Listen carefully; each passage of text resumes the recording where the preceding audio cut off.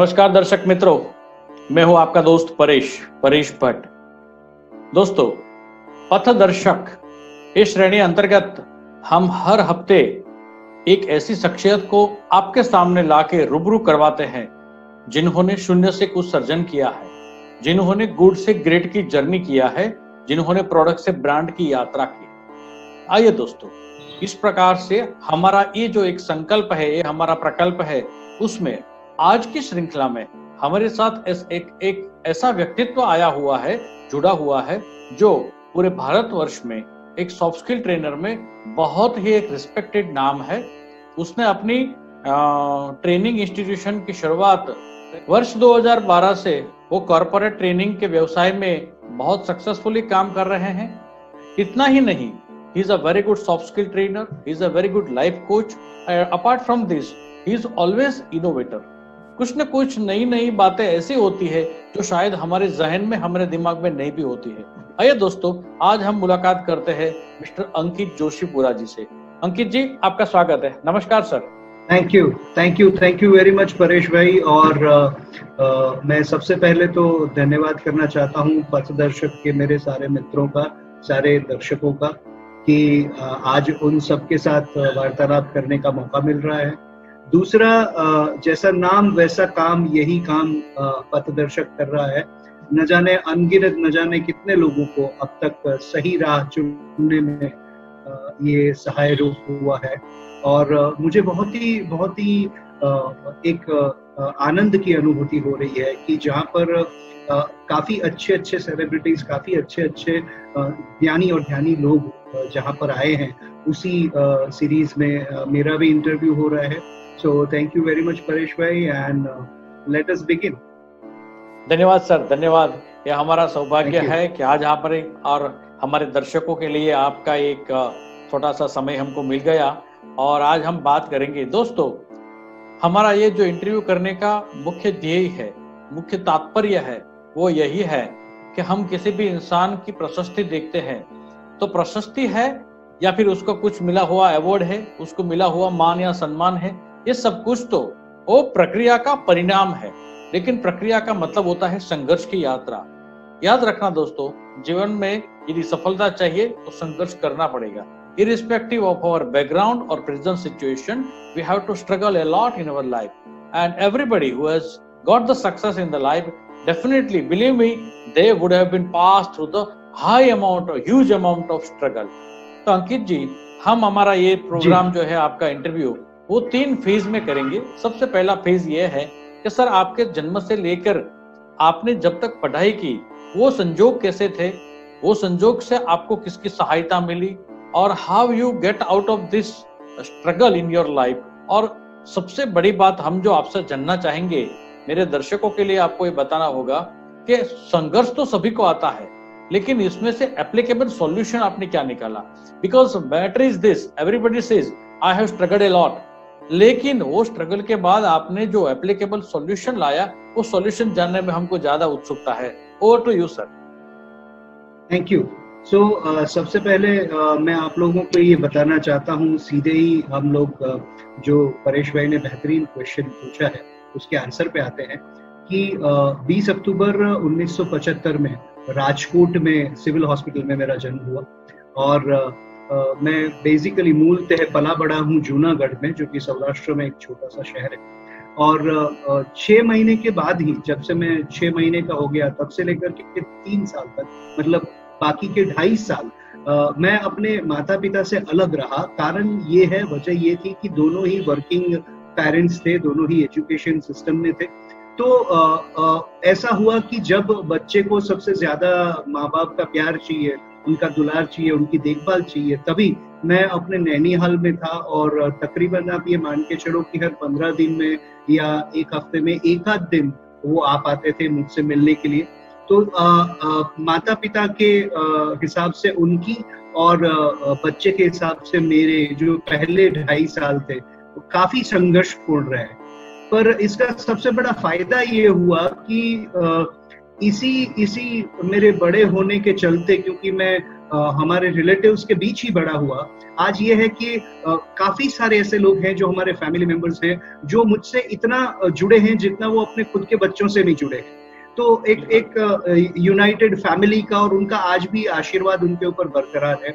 और इस पर्टिकुलर सिलसिले को मैं कृष्ण के साथ रिलेट करूँ। कि भाई उनकी भी, उनका भी जन्म कहीं हुआ था, परवरिश कहीं और हुई। तो इसी तरीके से मेरे भी जो इनिशियल इयर्स हैं, वो माता पिता से दूर रहकर रहे और तकरीबन तीन, साढ़े तीन साल के बाद मुझे ये पता चला कि अरे भाई हाँ अब यही मेरे माता पिता हैं। तो इस तरीके से। और इसका सबसे बड़ा फ़ायदा ये हुआ कि जो हमारे फैमिली मेंबर्स हैं, जो मेरे परिवार के सदस्य हैं उनको भी मैं रिस्पेक्ट देख, देना सीख गया जस्ट लाइक पेरेंट्स बिकॉज़ उन सबने मुझे पाला पोसा और बड़ा किया है. तो एक पारिवारिक भावना जो मुझे सीखने को मिली तब से, कि कैसे हो, कैसा होगा वो परिवार जिसने दूसरे के बच्चे को या अपने ही भाई या बहन के बच्चे को ढाई साल तक अपना बच्चा समझ के बड़ा किया. तो ये ये एक संघर्ष के साथ साथ ये बहुत बड़ी लर्निंग रही मेरे लिए इनिशियल स्टेज में. उसके बाद हम लोग जूनागढ़ आए और मैं आप लोगों को बहुत ही गर्व से ये कहना चाहता हूँ कि जूनागढ़ में प्राइमरी से लेकर के ग्रेजुएशन तक मतलब मैंने जो बीएससी किया है bachelor of science in zoology ये पूरा मेरा अपनी मातृभाषा में यानी कि गुजराती में मैंने किया है। क्या और आ, जी जी। और इस दौरान भी काफ़ी सारे पड़ाव रहे तो मैं तीन पड़ावों की बात करूँगा। पड़ाव पहला जब तक मेरा प्राइमरी एजुकेशन हुआ, तब तक हम लोग we were not that well to do family तो दसवीं कक्षा तक तो हमारे पास खुद का घर भी नहीं था। जो मिला, जैसे मिला, वैसे हम लोग काम कर रहे थे। पड़ाव दूसरा, ये बहुत ही क्रिटिकल पड़ाव है, ग्यारहवीं और बारहवीं। जहाँ पर कि मेरे माता पिता दोनों ही शिक्षक पिताजी तो इतने प्रचलित थे कि 1984 का ट्वेल्थ साइंस का, जो मैथमेटिक्स का बोर्ड की एग्ज़ाम का पेपर है उसको मॉडरेट करने में he was one of the person जिन्होंने डिसाइड किया। और आप लोगों को जानकर के ताजुब होगा और अगर आज मैं अभी आपको बताऊँगा तो आप मानोगे नहीं कि I failed twice in twelfth science oh my god मैं दो बार अब आप सोचो कि जिनके माता जी जो हैं वो किसी एक हायर सेकेंडरी स्कूल की बहुत ही रिस्पेक्टेड प्रिंसिपल है जिनके पिताजी हैं, वो बहुत ही जाने माने स्कूल के वाइस प्रिंसिपल हैं और उनका बेटा एक बार नहीं दो दो बार फेल हो रहा है और पहली बार में फेल हुआ था मैथमेटिक्स फिजिक्स और केमिस्ट्री में और दूसरी बार फेल हुआ मैं फिजिक्स में और मैथमेटिक्स और मेरे पिताजी जो है, वो मैथमेटिक्स के शिक्षक। तो आप सोचो कि as a person as as a kid मेरे ऊपर कितना प्रेशर गया होगा और उन लोगों की क्या स्थिति हुई होगी? बट बजाय इसके इस इस दौरान ये हुआ कि मेरे पिताजी और मेरे माताजी ने मुझे सिर्फ़ एक ही बात बोली थी कि अंकित हमको पता है कि आपके अंदर वो वो शक्तियाँ हैं कि आप आपका ये ऐसा रिज़ल्ट नहीं हो सकता आपसे चूक हुई है आपसे भूल नहीं हुई है तो so, मतलब आप कुछ चीज़ करने में चूके हो आपसे गलती नहीं हुई है अगर गलती होती तो आप एक अच्छे स्टूडेंट बन के अब तक यहाँ तक पहुँचते ही नहीं। और उन्होंने मुझे सिर्फ़ एक ही मंत्र दिया कि हमें इसके बाद हमें संतोष तब मिलेगा कि अभी जब हम बाहर जा रहे हैं या अभी जब आप आप बाहर जा रहे हो तो लोग बोलते हैं कि ये हिमकर भाई और हर्षा बहन का बेटा जा रहा है। जिस दिन हम मार्केट में निकलेंगे और लोग बोलेंगे कि देखो ये अंकित के माता पिता है उस दिन हमें लगेगा कि आपने जीव, जीवन में कुछ किया। तो अब सिर्फ़ उस चीज़ को ध्यान में लेकर के आगे चलो। तो सभी मेरे जो युवा दर्शक मित्र हैं उन सबसे मैं कहना चाहता हूँ कि जिस दिन आपके माता पिता आपके नाम से जाने जाएँगे तब ये थोड़ा आप समझना कि आपने अपने जीवन में कुछ किया है। और इसी दौरान because of I I sincerely मतलब माता पिता का कभी धन्यवाद नहीं करना चाहिए। कृतज्ञता होती है और हम हम हैं उनका कारण ही वो है। पर उन्होंने uh, मुझे कभी भी किसी भी चीज़ के लिए रोका नहीं है टोका नहीं है। और इसी वजह से हुआ ये कि मैं आप लोगों को जानकर के खुशी होगी कि मैं आ, आ, मैंने प्रोफेशनल फोटोग्राफी भी की है मैं फोटोग्राफी भी सीखा। मैं आ, आ, मैंने अखिल भारतीय गांधर्व महाविद्यालय से छह साल तक भरतनाट्यम सीखा है। आ, मैं पेंटिंग्स भी करता हूँ और मेरे नेशनल इंटरनेशनल क्लाइंट्स भी हैं जहाँ पर मैं आज भी पेंटिंग बना करके भेजता हूँ। तो इस तरीके से है। तो ये सारी कलाएँ मेरी स्टडी के साथ डेवलप होती गई और ट्वेल्थ का जो एक्चुअल जो ब्रेक आया, उसको मैंने ये सारी चीज़ों को और शार्पन करने में यूज़ किया। और उसके बाद फिर पढ़ाव आया जहाँ मेरी ग्रेजुएशन हुई। तो ग्रेजुएशन के अंदर भी ऐसा था कि मैं एक्स्ट्रा कैरिकुलर एक्टिविटीज़ में मतलब नेशनल लेवल यूथ फेस्टिवल तक मैंने अवार्ड जीते हैं। चाहे वो सिंगिंग हो चाहे वो ड्राइंग कंपटीशन हो चाहे वो ड्रामा हो माइम हो यू नो वाद्य बजाने की कॉम्पिटिशन हो तो इन सब चीज़ों में। तो uh, मुझे एक्चुअल में करना था केमिस्ट्री में बैचलर डिग्री पर क्योंकि इतना ज़्यादा मैं बाहर जा रहा था इतनी ज़्यादा प्रवृत्तियाँ कर रहा था तो खास तौर पर ये इंश्योर करने के लिए कि ये बच्चा नहीं आ सके केमिस्ट्री में क्योंकि उसकी वजह से हमको प्रैक्टिकल में बहुत ही एडजस्टमेंट करने पड़ेंगे। तो उन्होंने मुझे फिर से सेकेंड ईयर में अलाउड टू कीप टर्म दे दी केमिस्ट्री सब्जेक्ट में ताकि मैं chemistry as a major choose ही ना कर सकूँ। सो so, हुआ ये कि उन्होंने फिर रोक दिया तो मैं जूलॉजी मुझे लेना पड़ा बिकॉज़ वही एक ऑप्शन था मेरे लिए उस टाइम पे उस कॉलेज में।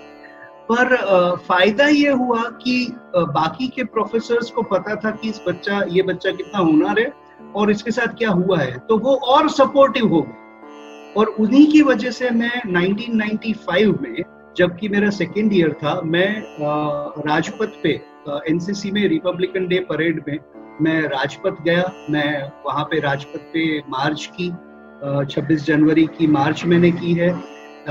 I have represented Gujarat as a cultural leader from NCC और uh, मुझे uh, Shri Nelson Mandela ji और शंकर दयाल शर्मा जी के साथ चाय और नाश्ता करने का मौका मिला है। So I was one of the selected candidate कि जिनको वहाँ पर आमंत्रित किया गया था। 1600 सो बच्चों में से सिर्फ़ 12 बच्चों को इनवाइट किया जाता है। 1600 सो बच्चों में से सिर्फ़ 12 बच्चों को इनवाइट किया जाता है। उनमें I was one of the candidate तो इस तरीके से यात्रा रही। आगे थोड़ा सा बढ़ते हैं, परेश भाई, हम लोग अगले प्रश्न पे जाएँ उससे पहले कि मेरी असल में तो पढ़ाई मास्टर्स तक की है आप, जैसा कि आप जानते ही हो। तो ग्रेजुएशन में ऐसा हुआ कि आई स्टूड कॉलेज फ़र्स्ट तो बी बीएससी जूलॉजी में मैं कॉलेज फ़र्स्ट आया। अब मेरी इच्छा थी कि मैं एमएस यूनिवर्सिटी बड़ौदा के अंदर मास्टर्स डिग्री करूँ और वहीं से फिर आगे पीएचडी भी करूँ। तो आ, हमारे ही एक रिलेटिव मैं अभी नाम नहीं देना चाहूँगा। तो वो लोग आ, आ, उसी संस्था से जुड़े हुए थे। तो हम लोग जूनागढ़ रहते थे। तो हमने उनको बोला कि भाई आप जरा फॉर्म्स वगैरह ले लेना। तो एंट्रेंस एग्ज़ाम और ये वो सब देने में आसानी रहे तो हम अगले दिन आ जाएँगे और बाकी सारी चीज़ें हो जाएगी और हम लोग एमएस यूनिवर्सिटी में क्योंकि मेरिट वगैरह में तो काफ़ी अच्छे मार्क्स थे। अगले रात को जब हम निकलने वाले थे बड़ौदा जाने के लिए, टिकट्स वगैरह बुक हो गई हैं, तभी उनका ट्रंक कॉल आता है। उन दिनों ट्रंक कॉल हुआ करता था। तो एसटीडी फ़ोन आता है कि आप निकले तो नहीं है। तो मेरे पापा ने कहा, क्यों? हम तो निकलने ही वाले हैं, टिकट्स वगैरह बुक है, क्या हो गया? तो वहाँ से आंसर आता है कि हमने सोचा कि अंकित तो गुजराती मीडियम में पढ़ा है और यहाँ पर तो एग्ज़ाम इंग्लिश में होती है। तो वो शायद नहीं दे पाएगा। इसलिए आपके फॉर्म के पैसे बच जाए ना इसके लिए हमने फॉर्म ही नहीं लिया है। तो आप मत आना। माय गॉड अब आप समझो कि एक एक ग्रेजुएशन हुआ हुआ बच्चा पूरा यंग जिसकी ऐसी इच्छा है ड्रीम है कि एमएस यूनिवर्सिटी में उसको पढ़ना है। और आ, ऐसा मतलब जैसे बिजली से गिर गई मेरे ऊपर पर माँ बाप का आशीर्वाद और उन्होंने जो मुझे संस्कार दिए थे, मैंने मतलब पापा मम्मी भी काफ़ी डिस्टर्ब हो गए थे। तो मैंने उनको बोला, पापा, हम लोग एक काम करते हैं, हम लोग इसी बस में जो टिकट बुक करवाई है, उसी में जाएँगे। उसी में हम लोग पर हमको क्या करना है कि हम बड़ौदा तक नहीं जाएँगे, हम आनंद उतर जाएँगे। और वल्लभ विद्यानगर की यूनिवर्सिटी किसी भी, जिस यूनिवर्सिटी में मिलेगा, उस यूनिवर्सिटी में हम एडमिशन लेंगे। पर आज, क्योंकि हमने निर्धार किया है कि आज मेरा एडमिशन करवाना है तो कल के दिन में हम लोग वहाँ पहुँच करके एडमिशन मेरा तय करते उस हिसाब से मैं मास्टर्स डिग्री करने के लिए SP university Vallabh Vidyanagar department of bioscience में पहुँचा। भगवान की दया से बहुत अच्छे से मिल गया वहाँ पे एडमिशन भी। और इन दो साल ऑफ़ मास्टर्स डिग्री के दौरान, क्योंकि मैं पूरा गुजराती में पढ़ा हुआ था ग्रेजुएशन पहले छह महीने बहुत स्ट्रगल रहा। और मैं तीन बातें मेरी मास्टर डिग्रीज की कहना चाहता हूँ यहाँ पे। जो। कि हो सकता है सबको बहुत काम आएगी कि अगर आप चाहो तो आप कैसे और क्या कर सकते हो? क्योंकि परेश भाई ने मुझे ये ज़िम्मेदारी दी है कि मुझे ये भी मैसेजेस देने हैं कि यू नो कठिनाइयाँ तो सबको आती है पर उसका आप अप्रोच कैसे करते हो ताकि हमारे जो श्रोतागण है खास तौर से जो पथदर्शक को इतना प्यार देते हैं वो कुछ सीख सके? तो मैं ये कहना चाहता हूँ बड़ी ही विनम्रता से कि तीन चीज़ें मैंने की वहाँ पर। एक तो ये हुआ कि आ, मैं उस यूनिवर्सिटी का या उस डिपार्टमेंट का एक लौता ऐसा स्टूडेंट हूँ जो कि फ़र्स्ट ईयर में होते हुए जिन्होंने पीएचडी वाले जो स्टूडेंट्स हैं उनके लेक्चर्स लिए थे ऑन एड्स एड्स जब हाँ तो I am the only person in the entire career of SP मतलब entire life span of S P university की पीएचडी के स्टूडेंट्स के मैंने लेक्चर लिए थे कि एड्स के विषय में सो दैट वाज वन दूसरी बात जो मैं मेंशन करना चाहता हूँ ये है कि वही तबक्का था जब आ, मैंने नेशनली uh, और इंटरनेशनल लेवल पे ड्रामा भी किए और uh, यहाँ तक कि पृथ्वी थिएटर्स में खास तौर से बॉलीवुड के जो फ़िल्म स्टार्स हैं उनके लिए खास मेरे ड्रामा का शोज़ अरेंज किया गया था। और संजना कपूर और वो संजना कपूर और उनके साथ हमने आ, क्या कहते हैं कि सारा टाइम बिताया था। हमने वहाँ पे पृथ्वी थिएटर्स में तीन चार दिन रहे थे। हाँ। और तीसरा और बहुत महत्वपूर्ण बात मैं ये कहना चाहता हूँ कि इन सारी जर्नी के दौरान मुझे कभी माँ बाप के अलावा ज़्यादातर किसी और लोगों का सहारा नहीं मिला। मैं उन्हीं के सहारे जहाँ तक पहुँचा वहाँ तक पहुँचा। और अब आगे की जर्नी मुझे अपने आप करनी थी क्योंकि अब तो मैं वहाँ पे रह रहा था। विद्यानगर में और कोई मतलब किसी को जाकर के पूछ सकूँ, ऐसा भी कोई था नहीं। तो मैंने एक नया चीज़ शुरू की कि भाई तुम बेसहारा हो तो किसी का सहारा बनो वाली चीज़।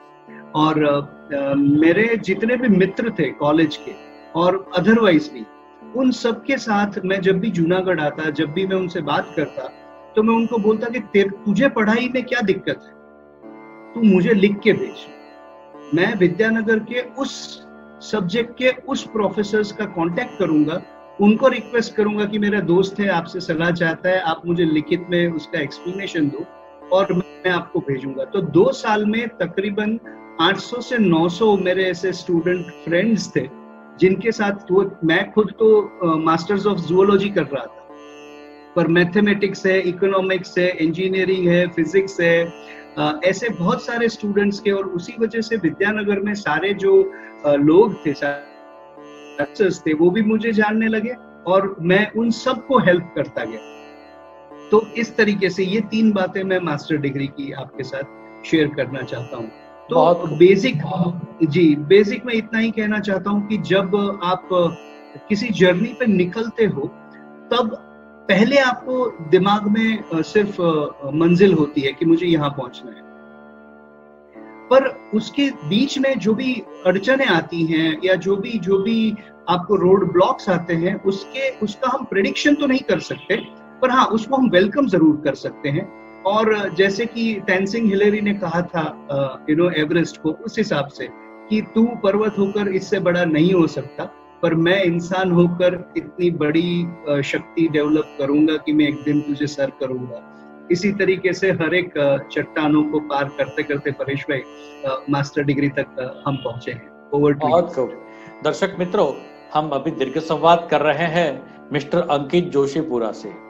अंकित जी की बात से दो तीन बातें हमारे सामने आ, हमारे जहन तक पहुँचती है। सबसे पहला जन्म से छह महीने की आयु के बाद तीन साल, यानी कि करीबन ढाई साल तक, वो अपने मामा के घर पे पले बड़े बड़े हुए और माँ और बाप से हफ़्ते में या पंद्रह दिन में एक बार मुलाकात होती थी। तो ये जो है, बाल बच्चा होता है, उसका अंदर का जो एक डेवलपमेंट होता है, उसका इमोशनल डेवलपमेंट होता है, इसका ये बहुत सही समय होता है, जिस वक्त उसको माँ या बाप की गोदी चाहिए और उस वक्त पे उसने मामा के घर पे अपना ये ढाई साल वहाँ पे पसार किया। दूसरी बात है और बहुत बड़ी बात है, वो है एनसीसी मैं पूरे भारतवर्ष के नव युवाओं और खास करके बच्चों को बोलूँगा कि दोस्तों एनसीसी बहुत बड़ी बात है और यदि मौका मिलता है तो आपको एनसीसी ज्वाइन करना चाहिए। और मैं समझता हूँ कि जो जो बच्चे एनसीसी में होते हैं, उसकी चलने का तरीका कुछ अलग ही होता है, उसका जज्बा भी कुछ अलग होता है। और अंकित जी, आपने तो ये आरडीसी का परेड किया वो बहुत बड़ा उपलब्धि है। क्योंकि महामहिम राष्ट्रपति जी के साथ या उपराष्ट्रपति जी के साथ आपको भोज मिलता है या फिर आपको नेल्सन मंडेला जैसे अफ्रीकन गांधी के साथ रहना या मिलने का एक सौभाग्य प्राप्त होता है वो आपकी ज़िंदगी का एक बहुत बड़ी एक सौभाग्य क्षण है। It is a very pleasant moment of your life at the same time मैं जब तक अंकित जी को पहचानता हूँ तो मुझे लगता है अंकित जी थ्री डी का पर्सनालिटी है। ये थ्री डी का मतलब होता है डिज़ायर दूसरा है डेडिकेशन और तीसरा है डिसिप्लिन ये तीन डी हर हमेश बार बार जब भी मैं मिलता हूँ तब अंकित जी में मुझे ये दिखाई पड़ता है। तो अंकित जी अब बात हमारी हमारी बात का गियर हम बदलते हैं और आते हैं आपकी कारकिर्दी सर आपको ये ट्रेनिंग बिज़नेस में जाने का कहाँ से मौका हुआ? या फिर आप और मदर और फादर की लेगेसी को आगे बढ़ाते हुए आपने ये बात किया क्योंकि डीएनए में तो ऑलरेडी था कि दूसरों को पढ़ाया जाए। लेकिन आपने वो ट्रेडिशनल एजुकेशन की जगह पे अपना कुछ रास्ता अलग सा बनाया। तो कौन सी मोमेंट थी कौन सी घटना थी जहाँ से आपने एक कॉरपोरेट ट्रेनिंग प्रोफेशन को अपनी ज़िंदगी का एक अहम हिस्सा बनाया और आपका जो पेशन था उसको ही आपने प्रोफेशन बनाया। Over to you sir ji. तो इसकी भी बड़ी दिलचस्प कहानी है परेश भाई और आज हम बात कर ही रहे हैं तो मैं आप सब लोगों के साथ बड़े ही नम्रता से शेयर करना चाहता हूँ कि मैंने अपनी करियर की शुरुआत की थी उसी कॉलेज में as a part time professor जहाँ पर मैंने ग्रेजुएशन की तो हम्म। छह महीने तक मैंने वहाँ बच्चों को पढ़ाया और उनका न्योता आया था क्योंकि मास्टर्स में भी आई वॉज़ यूनिवर्सिटी सेकेंड तो कॉलेज फ़र्स्ट होकर के मैं गया था वहाँ पे और फिर यूनिवर्सिटी सेकेंड तो पार्ट टाइम प्रोफेसर की अहदे पर उन्होंने मुझे नियुक्त किया और मैंने अपना कार्यकाल वहाँ शुरू किया। छह महीना काम करने के बाद मैंने ये समझा कि अगर मुझे सच में एक बड़ा इम्पैक्ट लाना है लोगों के लाइफ में, अगर सच में मुझे अलग कुछ करना है, ज़्यादा से ज़्यादा लोगों तक पहुँचना है, सिर्फ़ भारतवर्ष में नहीं, पर भारतवर्ष के बाहर भी। तो मुझे सच में कुछ बड़ा करना पड़ेगा, तभी जाकर के होगा। और तब मैंने अपने आप को दो प्रश्न पूछे। और ये मैं सजेस्ट कर रहा हूँ सबको कि आप जब भी ऐसा कोई ड्रीम देखें अपने जीवन में तो ये दो प्रश्न अपने आप से बिल्कुल पूछे और उससे भी ज़्यादा उसका आंसर बड़े ही ऑनेस्टी से दें। क्योंकि आप खुद को ही प्रश्न पूछ रहे हो, खुद ही आंसर कर रहे हो। तो मुझे ये पहला प्रश्न मैंने अपने आप को पूछा कि अंकित, क्या ज़िंदगी भर के लिए अब सिर्फ़ तुम यही करना चाहते हो? या फिर भटक जाओगे आगे जाकर के कि ये अच्छा मिला तो चलो वो कर लेता तो अंदर से आवाज़ आई कि हाँ मैं यही करना चाहता और दूसरा मुझे जो मैंने अपने आप से प्रश्न पूछा वो ये है कि अगर कल से आपको ये जर्नी शुरू करनी हो, कल से आपको ये करना हो क्या उसके लिए आप सज्ज हो तो अंदर से आवाज़ आई कि नहीं, अभी तुम उतने सज्ज नहीं हो। जो तुमको करना है वो करने के लिए। तो पहले अपने आप को उस काबिल बनाओ कि जहाँ पर तुम गर्व से कह सको कि हाँ अब मैं ये कर रहा हूँ। और उसमें मैंने अपने जीवन के तकरीबन पंद्रह साल दिए। पंद्रह सितंबर 1998 को मैंने ऑफिशियली बहुत ही कॉन्शियसली अपना पार्ट टाइम लेक्चरशिप को छोड़ करके grass root level sales person का जॉब मैंने लिया। वो भी जूनागढ़ में नहीं, अहमदाबाद में, और इस तरीके से मैं अहमदाबाद आया। और 18 सितंबर 1998 रात के ढाई बजे वंस अगेन मेरी जन्मभूमि राजकोट, वहाँ पे गोंदिया हॉस्पिटल हुआ करता था, जो कि आज वोकार्ड के नाम से पहचाना जाता है। उसके पहले वाले चौराहे पे रात को ढाई बजे मैं अपना पैथोलॉजिकल किट्स का डेमोन्स्ट्रेशन दिखा करके खाना खाने बैठा था रोड पे। तो वहाँ मैंने सोचा कि भाई, ये शुरुआत तो की है, पर इसका एंड रिज़ल्ट यही होना चाहिए कि तेरी खुद की कंपनी होनी चाहिए। और वो भी ट्रेनिंग कंसल्टेंसी और कोचिंग की होनी चाहिए। तो खाना खाते खाते मैंने वहाँ उस दिन इस कंपनी का नाम सोचा था कि मेरी जो पहली ट्रेनिंग फर्म होगी उसका नाम होगा मेटामॉर्फोसिस। और तब से उस नाम को मैं अपने दिल में समाये हुए था जो मेरे इच्छा जो है वो पूर्ण हुई 2012 में। सो so, 1998 सितंबर टू फ़र्स्ट मई 2012 यहाँ तक मैंने इस सपने के पीछे काम किया है। और हर एक जगह पर जहाँ पर भी मैं गया वहाँ मैंने अपने आप को दो प्रोमिस किए कि या तो मैं अगर किसी कंपनी से निकाला गया या तो मुझे पसंद नहीं आया और मैं छोड़ दूँगा। तो ये हमेशा कोशिश करूँगा कि उसी सेक्टर की दूसरी कंपनी में ज्वाइन नहीं करूँगा। क्योंकि एक बार अगर मैं आपको पार्कर की पेन बेचने के लिए आ रहा हूँ, फिर दोबारा मुझे रोलेक्स की पेन या यू नो मोन्टे कार्लो की या माउंट ब्लैक की पेन पेन बेचने के लिए, आप ही के पास आने के लिए, मेरा मेरा जो अंदरूनी जो मेरे मोरल है, मेरी वैल्यूज़ हैं, वो इजाज़त नहीं देती। और इसका फ़ायदा परेश जी ये हुआ कि आ, मैंने बहुत अलग अलग सेक्टर्स में काम किया और मेरी मेरी जो जो लर्निंग हुई वो काफ़ी स्प्रेडेड हुई। आमतौर पर इतने इतनी लर्निंग इतने सालों में लोगों की नहीं होती है बिकॉज़ वो सेक्टर्स नहीं बदलते। Right right. तो मैंने मैंने शुरुआत की एज अ लेक्चरर उसके बाद मैंने डायग्नोस्टिक्स में as a grass root level sales person काम किया। वहाँ पर मैंने दो प्रमोशंस लिए। और almost you know zonal level तक पहुँचा। उसके बाद uh, मैंने एक लेबोरेटरी uh, के अंदर कंसल्टेंसी का काम किया जो कि यहाँ की अहमदाबाद की बहुत ही फ़ेमस लेबोरेटरी है साइंटिफिक डायग्नोस्टिक्स और uh, उसके बाद मैंने आईटी फ़ील्ड में काम किया। आईटी फ़ील्ड में काम करने के बाद मैंने मॉड्यूलर फर्नीचर के कंपनी में काम किया जहाँ पर मैं ऑल इंडिया सेल्स हेड था। और उसी कंपनी के अंदर मुझे ये भी मौका मिला कि being the only guy who is not interior designer और आर्किटेक्ट मैंने triple ID Indian institute of interior designers के जो आर्किटेक्ट्स हैं और इंटीरियर डिजाइनर्स हैं, उनके उनके मैंने ट्रेनिंग प्रोग्राम्स दिए हैं उनको सिखाया है the newer trends of infrastructure and IT अरे इंफ्रास्ट्रक्चर एंड इंटीरियर डिज़ाइन तो ये भी मौके मिले। और उसके बाद फाइनली मैंने यू नो इंश्योरेंस में काम किया छह साल जहाँ पर मेरे मित्र परेश भाई के साथ मेरी मुलाकात हुई और तब से लेकर के आज तकरीबन दस साल हो गए हम लोग एक दूसरे के साथ जुड़े हुए हैं। और जो थ्री डी उन्होंने मेरे बारे में बोला वो वो थ्री डी के साथ एक सी अगर जोड़ दूँ तो वो है क्रिएटिविटी जो कि परेश भाई को डिपेक्ट करती है। तो इस तरीके से कुछ जर्नी रही और फिर एक दिन आया जब मैंने तय कर लिया कि बस अब बहुत हो गया।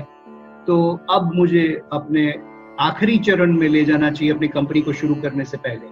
और ये भी लास्ट पार्ट जो है वो भी बहुत इंटरेस्टिंग है परेश भाई की आ, मैंने छह महीने इंडिया के तकरीबन 80 सी एच आर ओ है एल एन डी हेड्स हैं एच आर हेड्स हैं उन सबसे मिलने में निकाले before I started my company और उनसे भी जाकर के मैंने सिर्फ़ दो ही क्वेश्चन पूछे। और ये भारतवर्ष के हर एक मतलब दिल्ली, गुड़गांव, बॉम्बे और आप गुजरात के ले लो, सब जगह में गया था, कैलकाटा सब जगह और उन सबसे मिला था। और उनसे मैंने दो ही क्वेश्चन पूछे थे। क्वेश्चन नंबर वन कि आज के इंडियन इंडस्ट्री में क्या मिसिंग है? और दूसरा मैंने ये पूछा था कि कल को अगर मैं अपनी कंपनी लेकर के आपके पास आऊँगा तो आप मुझमें क्या देखना चाहोगे जिसकी वजह से आप मुझे बिज़नेस दो? वाह तो ये मेरे लिए बहुत बहुत बड़ी रिसर्च हो गई और मैंने ये छह महीने जो निकाले उसे मैंने बिज़नेस इन्वेस्टमेंट गिना और ये रिसर्च करने के बाद मैंने मेटामोर्फोसिस के वैल्यू सिस्टम्स बनाई और मेटामोर्फोसिस जैसा कि आप जानते हो फ़र्स्ट में 2000 आप लोगों की सेवा में अथक प्रयत्न करके कार्यरत है। बहुत को बहुत को दर्शक मित्रों हम दीर्घ संवाद कर रहे हैं। मेटामोर्फोसिस के डायरेक्टर मिस्टर अंकित जोशीपुरा से। आज मुझे उसके थ्री के साथ एक सी भी ऐड करने को मिल गया। बहुत बहुत धन्यवाद। तो दोस्तों डिज़ायर डेडिकेशन डिसिप्लिन और बाद में आता है क्रिएटिविटी तो ये चारों मिला के आज मेटामोर्फोसिस कुछ अलग प्रकार से, बाकी जो कन्वेंशनल वे में ट्रेनिंग होते हैं, इससे कुछ अलग प्रकार से ट्रेनिंग करते अंकित जी, आपका बहुत बड़ा एक तजुर्बा रहा है कि आपने बहुत से टॉप मैनेजमेंट से लेके ग्रास रूट लेवल के जो कारीगर होते हैं, उसको आपने ट्रेन किया है। तो सबसे पहले मैं मेरे पूरे भारतवर्ष के युवाओं के बेनिफिट के लिए आपसे ये जानना चाहूँगा what is the importance of the soft skill in the profession या फिर what is the importance of the soft skill in the life ज़िंदगी में ये सॉफ्ट स्किल का महत्व कितना है? और किस प्रकार से? थोड़ा सा आ, इसके बारे में बताइए सर। जी बिल्कुल। सो so, बेसिकली मैं आपको बताऊँ कि आ, हम आ, दो सिमिलीज लेते हैं। दो दो अलग अलग उदाहरण से मैं समझाना चाहूँगा और मुझे पता है कि हमारा जो दर्शक वर्ग है वो इतना मैच्योर है और इतना डेडिकेटेड है कि वो इन दोनों से बिल्कुल समझ जाएँगे।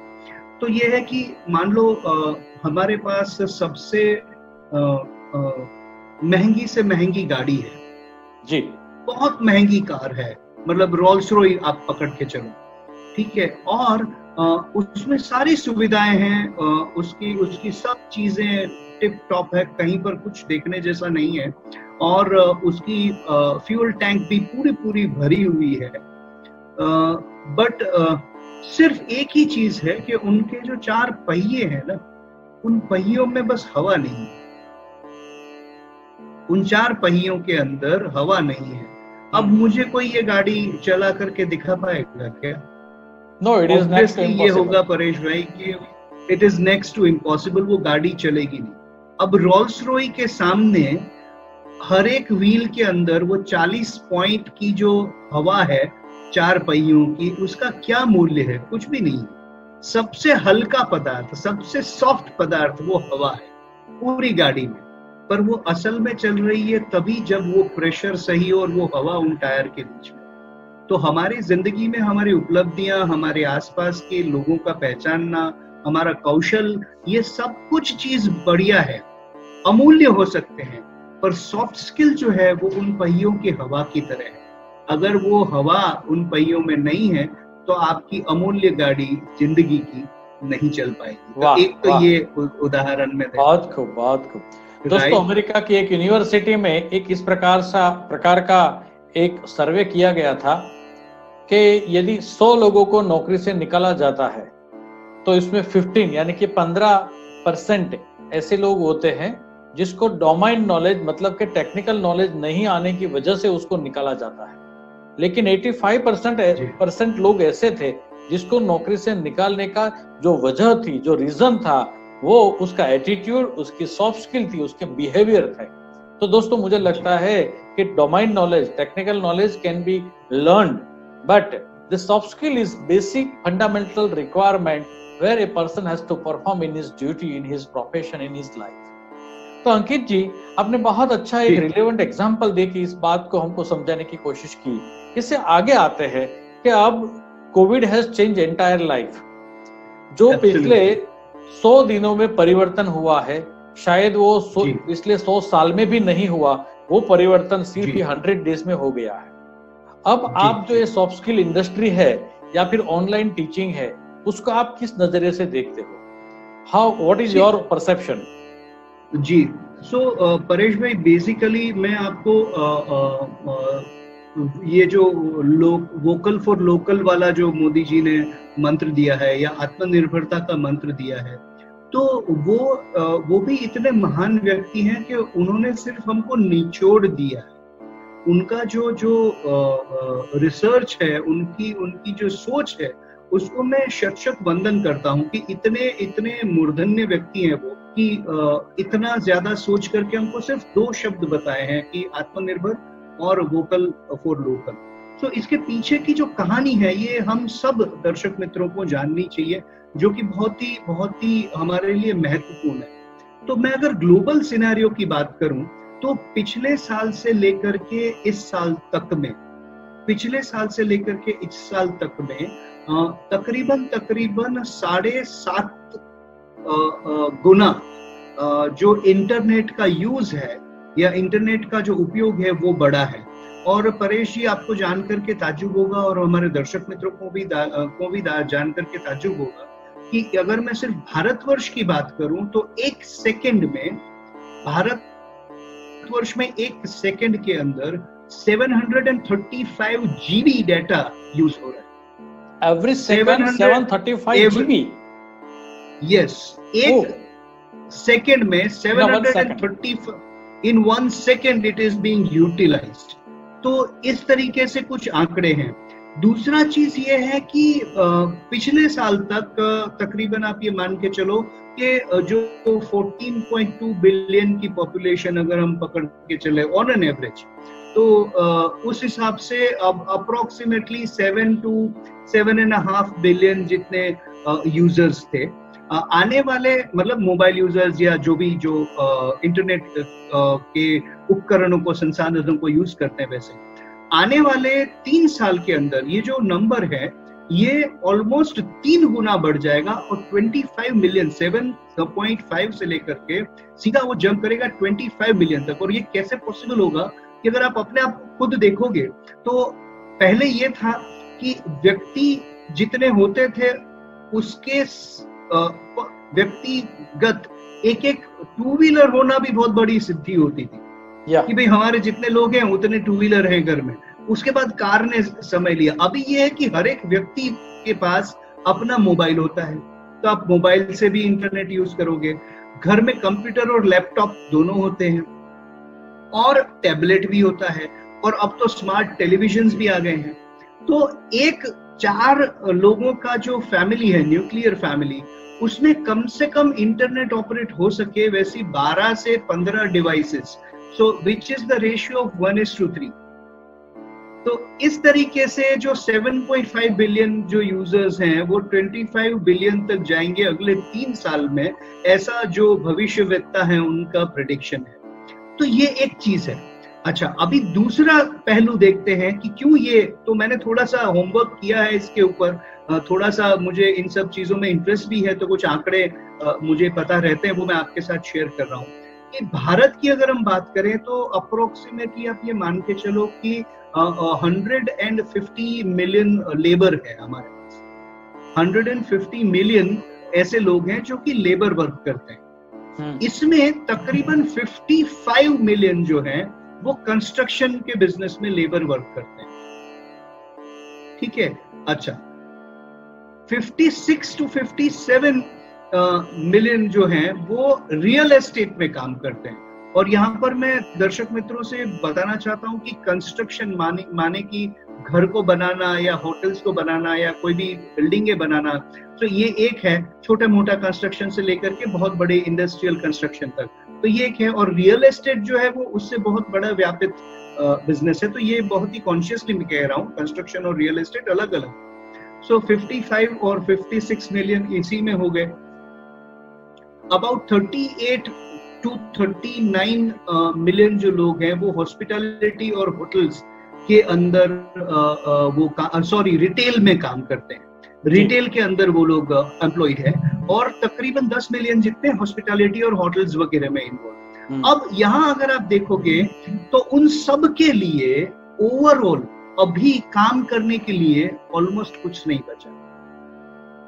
तो एक तरफ़ आप इंटरनेट का यूज़ बढ़ रहा है दूसरी बार बार मैं ये कहूँगा कि अनएम्प्लॉयमेंट नहीं पर हाँ यूज़र्स बढ़ रहे हैं अपने आप। क्योंकि जो लोग खाली बैठे हैं वो फ़ोन पे जाएँगे वो कुछ न कुछ करेंगे और वो ये भी सोचेंगे कि अब इससे आगे मैं अपनी आमदनी अपनी जीविका बचाने के लिए और बढ़ाने के लिए क्या करूँ? तो ये इन ये एक बहुत ही सुबक समन्वय है एक एक बहुत ही अच्छा अपॉर्चुनिटी है हमारे लिए कि निचले से निचले तबके से लेकर के समाज के अच्छे से अच्छे ऊपरी तबके तक में सारे लोग ऐसे हैं जिनको अगर कोरोना ने एक अच्छी चीज़ गिफ्ट की है तो वो है समय। अब उनके पास टाइम है वो जो रूटीन काम कर रहे थे उतना काम वो चाहे तो भी नहीं कर पा रहे हैं और उसी वजह से अब खाली बैठेंगे तो क्या करेंगे? तो इस हिसाब से है। अब हम बात करते हैं स्पेसिफिकली ऑनलाइन लर्निंग तो अगर हम ऑनलाइन लर्निंग की बात करें तो आप लोगों को जानकर के बहुत ही खुशी होगी कि भारत जो है, वो यूएस के बाद का दूसरा विश्व का सबसे बड़ा ऑनलाइन लर्निंग का मार्केट है। और यहाँ पर मैं ऑनलाइन स्कूल एजुकेशन की बात नहीं कर रहा हूँ। उसके अलावा जो लर्निंग है उसमें और उसके भी आंकड़े जो है वो बहुत ही चौंकाने वाले हैं। जैसे कि अप्रोक्सीमेटली आप ये मान के चलो कि 2021 का अंत होते होते 1.96 बिलियन लोग 1.96 बिलियन इस इस सॉरी इस मार्केट की वैल्यू हो जाएगी। इतना बड़ा बिज़नेस हो जाएगा और 9.6 मिलियन यूज़र्स नए इसमें जुड़ेंगे। जो कि एजुकेशन नहीं ट्रेडिशनल एजुकेशन के अलावा की जो भी सीख है, जो भी ट्रेनिंग है, वो ऑनलाइन लेंगे। तो इतनी बड़ी अपॉर्चुनिटी जब हमने देखी परेश भाई तो हमने सोचा कि भाई अगले तीन या पाँच सालों में, ज़्यादा से ज़्यादा नहीं, अगर हम यदि इसका एक से पाँच प्रतिशत के बीच में भी अगर हम कॉन्कर कर पाए तो ज़िंदगी जीने का थोड़ा मज़ा और आ जाएगा। तो यही यही सोच लेकर के हमने ये शुरू किया और यही भविष्य है जो आप आंकड़ों के साथ अब देख सकते हो। ओवर टू परेश भाई। Very good very good sir बिल्कुल आपने बोला कि वन परसेंट से फाइव परसेंट तक यदि हम कुछ मार्केट को ग्रेप कर पाए, लेकिन इससे भी ज़्यादा और एक स्टेप ऐसा है कि because of your soft skill training ऐसे भारतवर्ष के बहुत से नौजवान होंगे जिसको एक दिशा मिलेगी राह मिलेगी और वो अपने घर में आमदनी कमा के अपना घर का पूरा का पूरा व्यवहार भी चला पाए। दोस्तों बिल्कुल बिल्कुल। दोस्तों दीर्घ संवाद कर रहे हैं मिस्टर अंकित जोशीपुरा जी से। अंकित जोशीपुरा जी ने बहुत कुछ ऐसे फिगर्स हमारे सामने रखे हैं और इससे हमारी आँखें चार हो जाती है कि आने वाले दिनों में ऑनलाइन टीचिंग और ऑनलाइन लर्निंग का एक बहुत बड़ा साम्राज्य होने वाला है। इट इज़ इस प्रिडिक्शन उसका अपना कुछ अभ्यास है और अभ्यास की वजह से वो बोल रहे हैं कि आने वाले दिनों में और और आज हम देख भी रहे हैं। बिल्कुल सही बात है कि आजकल एवरीवेयर देर इज़ ऑनलाइन लेकिन मुझे लगता है कि यदि इतना बहुत बड़ा मार्केट आने वाला ऐसा करके बहुत से कॉम्पिटिटर्स भी आ जाएँगे तो मुझे लगता है कि एज अ स्टूडेंट मैं कुछ सीखना चाहता हूँ। For example I want to learn communication या फिर मैं कुछ सीखना चाहता हूँ।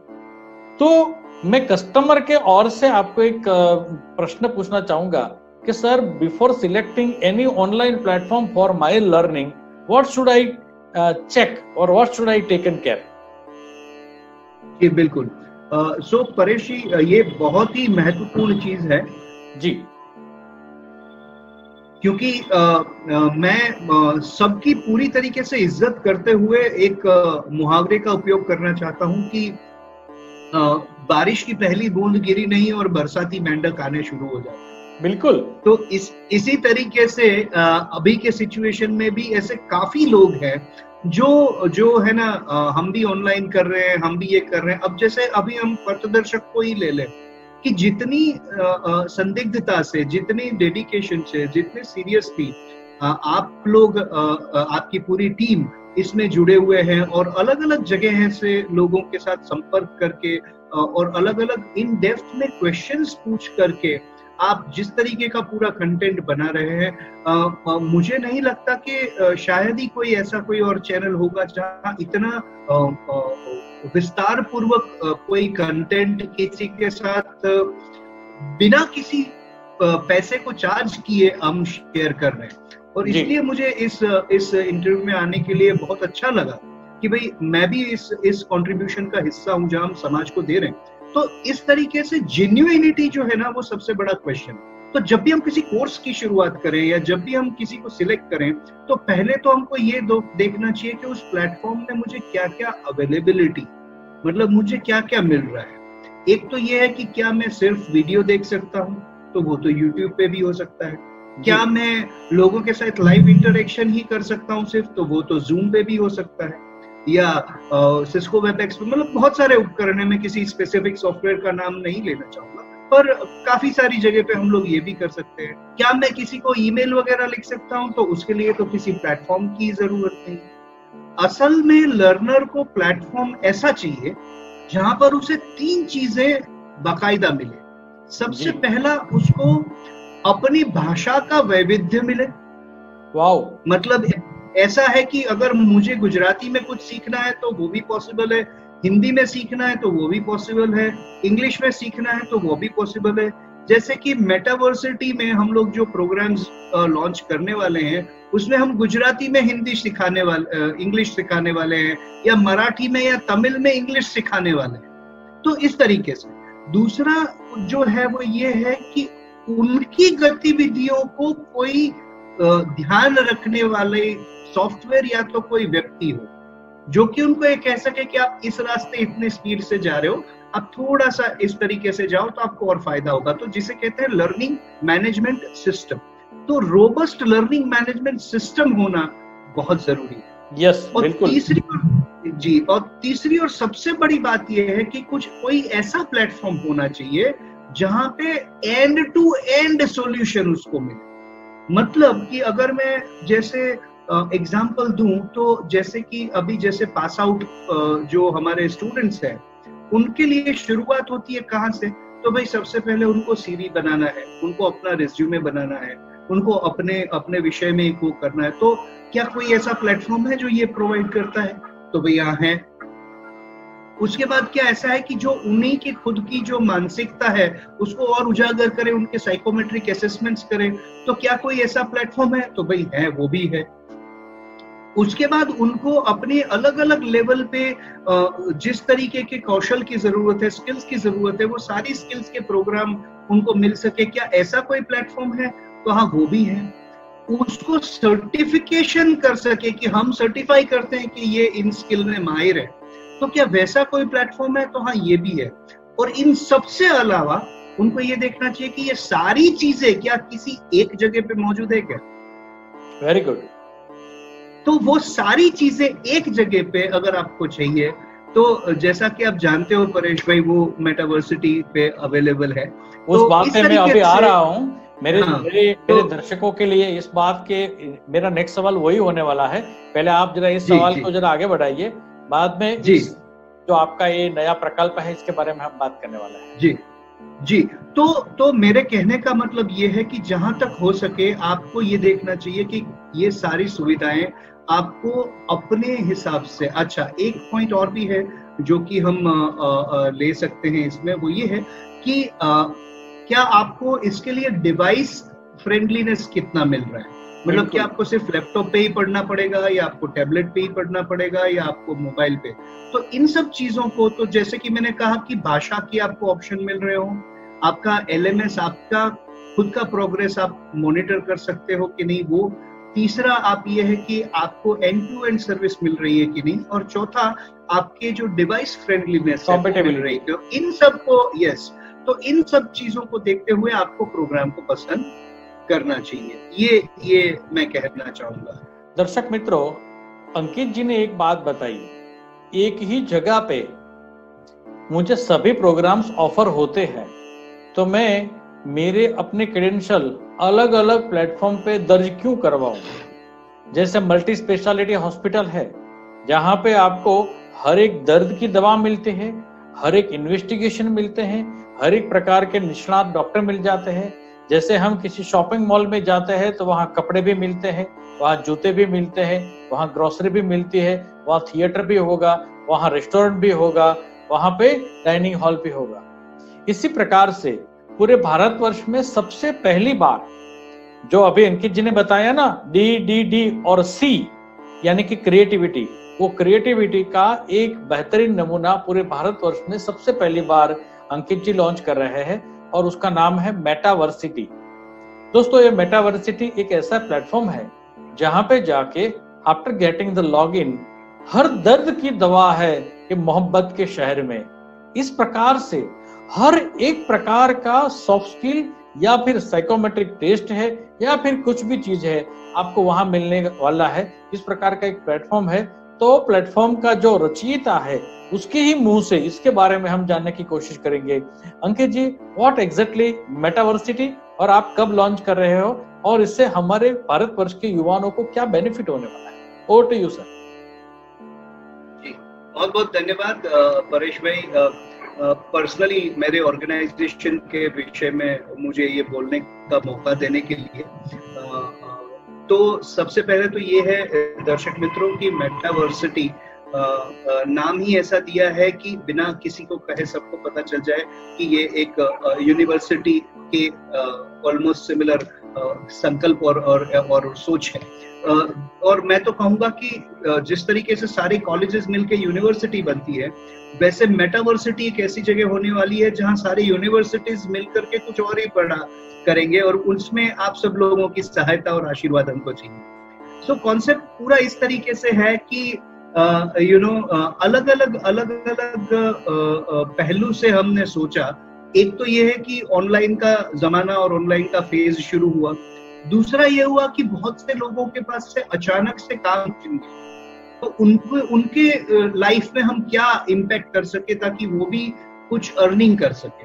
तो दूसरा एक ये था कि भाई, जो भी नॉलेज शेयरिंग पर्सनालिटीज हैं, जितने भी हमारे ट्रेनर्स कंसल्टेंट्स कोचेस के फ्रेटर्निटी है, उनको कैसे फ़ायदा करवाया जाए, उनको कैसे प्लेटफॉर्म बनाया जाए? क्योंकि ये platform itself has taken a lot of saving of my life ये बनाते बनाते काफ़ी सारे तो हर एक के बस की बात नहीं है। इसका मतलब ये तो नहीं नहीं कि जिसके बस की बात नहीं है, वो वहाँ नहीं जा सके। जैसे भगवान तो सबके होते हैं, राजा हो या रंग। तो उस तरीके से ये जो प्लेटफॉर्म हमने बनाया है, वो सारे ही हमारे नॉलेज शेयरिंग पर्सनालिटीज के लिए बनाया है, सबसे पहली। दूसरा, जितने ज़्यादा नॉलेज शेयरिंग पर्सनालिटीज अलग अलग तबके से अलग अलग शहरों से अलग अलग विषयों से अलग अलग एक्सपर्टाइज से हमारे साथ जुड़ेंगे, उतने ही लर्नर्स का सबसे बड़ा फ़ायदा।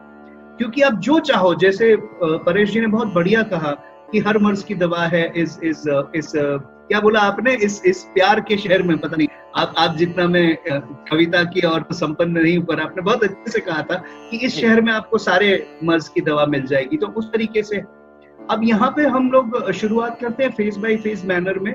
आ, हम लोगों ने पंद्रह जुलाई को इसका जो वेबसाइट है और इसका हमने प्रेस कॉन्फ्रेंस बुलवाया था और इसका वेबसाइट हमने लॉन्च किया है।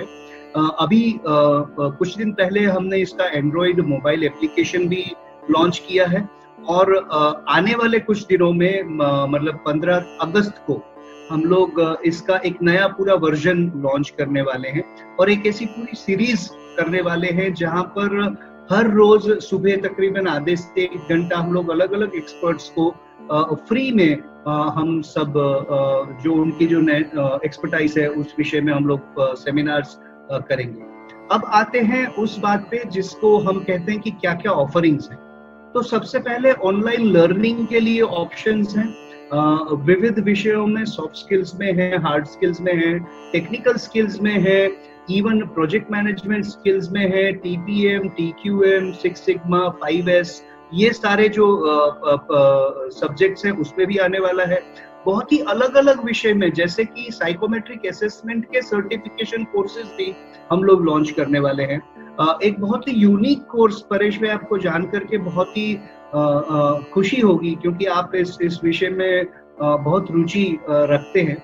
हम लोग स्पेसिफिकली म्यूज़िक थेरेपी के कोर्सेज लॉन्च कर रहे हैं. और म्यूज़िक थेरेपी के कोर्स मतलब आ, ऐसा नहीं कि सिर्फ़ यू नो म्यूज़िक सुन करके।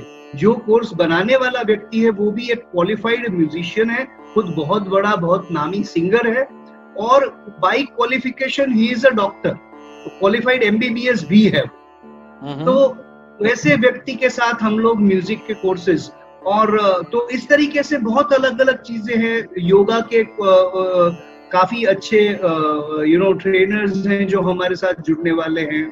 तो ये सारे इस तरीके के कोर्सेज है। ये पहला एक है। दूसरा, हम लोग साइकोमेट्रिक असेसमेंट्स यहाँ पर देने वाले हैं। तो खास तौर से जो यंग जनरेशन है, उनको करियर सिलेक्शन के लिए वो फ़ायदा करेगा।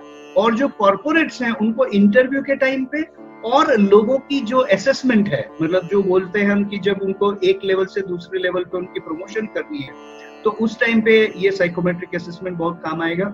आ, हम लोग प्रोफेशनल्स और स्टूडेंट्स के लिए स्पेसिफिकली रिज्यूमे बनाने के लिए भी सर्विस देने वाले हैं। There is a company called F जिनके साथ हमने टाई अप किया है और उनका बहुत सपोर्ट है हमारे साथ। तो उनके साथ मिल करके हम लोग नेशनली और इंटरनेशनली इस चीज़ को फैलाने वाले हैं। क्योंकि वो जमाने गए जब हम लोग कागज़ पेन लेकर के या कागज़ में किसी को हमारे सीवीज बेचते थे। अब जमाना है वीडियो का, अब जमाना है ऑनलाइन का। तो उसकी सुविधा भी हमने दी है। उसके अलावा हम लोग नॉलेज लाइब्रेरी खड़ी खड़ी करने वाले हैं। तो अगर किसी को ऑडियो बुक्स है ई बुक्स है, कुछ भी पढ़ना है, कुछ भी चाहिए कुछ डॉक्यूमेंट्स चाहिए अपनी कंपनी को रन करने के लिए तो वो सारे। तो इन शॉर्ट अगर आप देखें तो एक स्टूडेंट की ज़िंदगी से लेकर के, खास करके ग्रेजुएशन तक पहुँचे हुए स्टूडेंट की लाइफ से लेकर बड़ी से बड़ी कंपनी चलाने वाले ऑनर तक की लाइफ में जहाँ जहाँ उनको ज्ञान की ज़रूरत है जहाँ जहाँ उनको सलाह की ज़रूरत है, और जहाँ जहाँ उनको मदद की ज़रूरत है वहाँ वहाँ मेटामॉर्फोसिस पहुंचेगी। वहाँ वहाँ मेटामॉर्फोसिस पहुंचेगी मेटावर्सिटी को लेकर। तो इस तरीके से आ, हमारा पूरा कल्चर है सर बहुत खूब बहुत खूब। अंकित जी एज ए ले मैन मैं आपसे दो बात सीखना चाहता हूँ। I am a fresh graduate I don't have I don't have any job I am searching the job अभी मैं मेटावर्सिटी के गेट पे आ गया। मैंने लॉग इन कर दिया।